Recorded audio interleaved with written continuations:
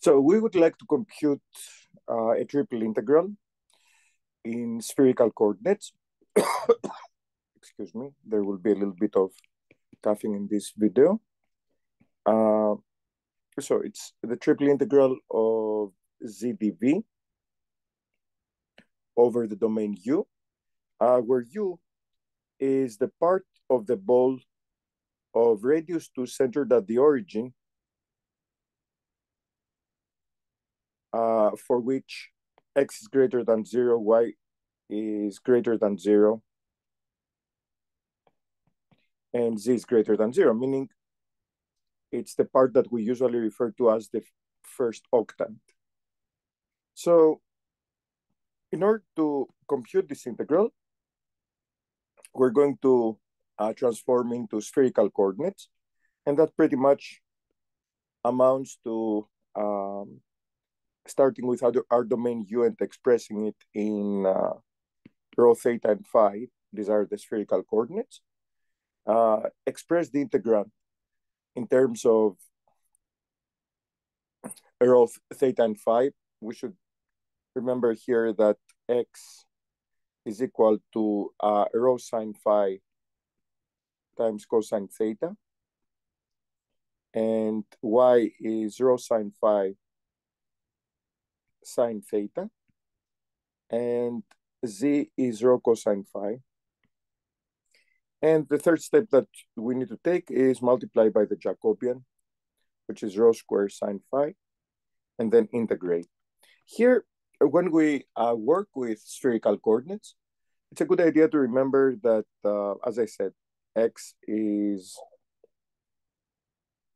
uh, rho uh, sine phi cosine theta. Actually, it's useful to remember that the r of spherical coordinates is rho sine phi. There's a little triangle that you can create and um, get. So if I am in the YZ plane, for example, um, and here's a point, and the distance from the origin is rho, and then I have this triangle where I have the angle phi right here, and the uh, vertical distance from the z-axis is really r.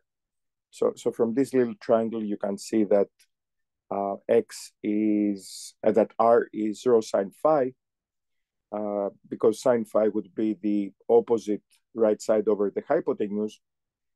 And uh, this way you can remember pretty easily the formula. So for y, it will be your r, which is rho sine phi, times uh, sine theta.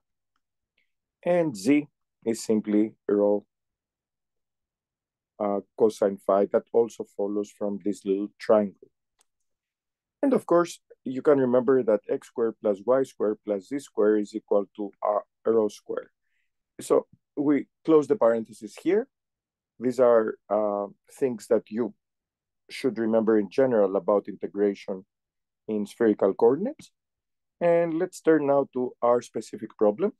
So let's start by expressing u in terms of spherical coordinates. I remind you that it's a part of the uh, ball of radius 2 centered at the origin uh, that lies in the first octant.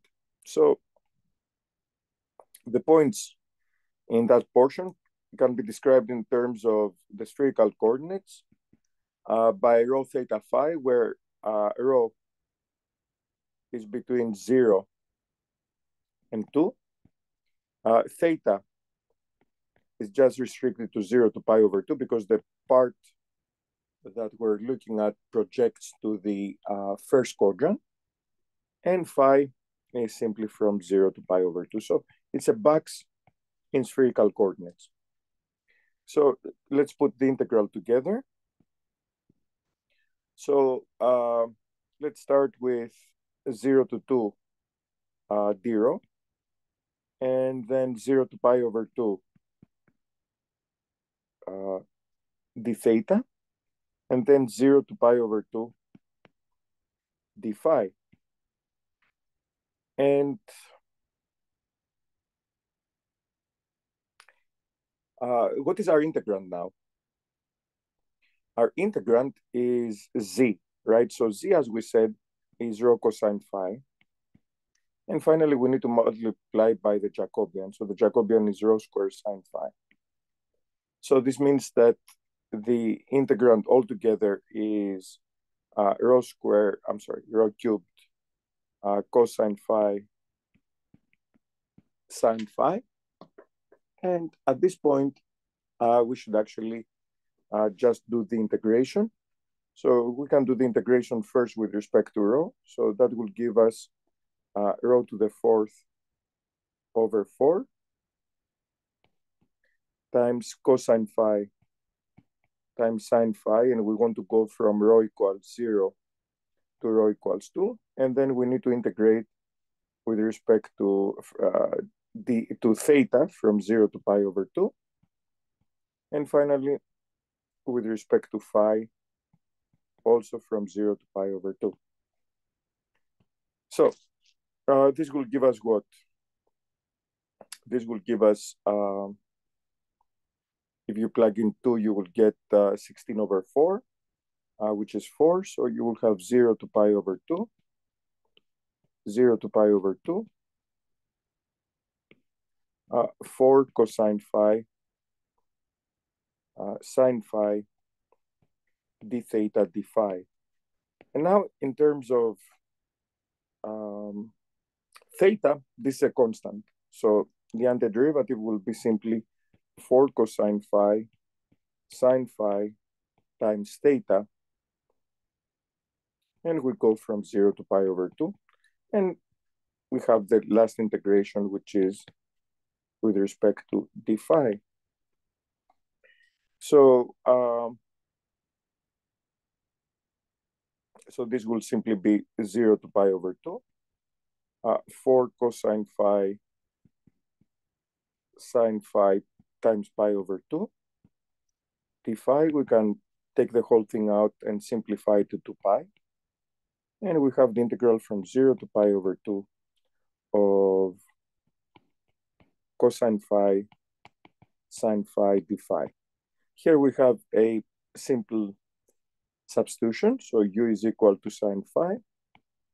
du will be cosine phi d phi. And we should not forget that when we do substitution, we apply the um,